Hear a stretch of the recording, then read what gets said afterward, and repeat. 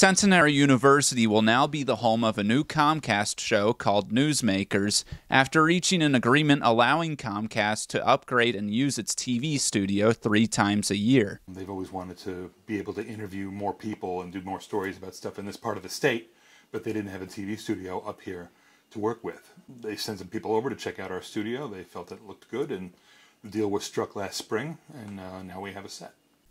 The show will appear on the NBC News website as part of their local programming.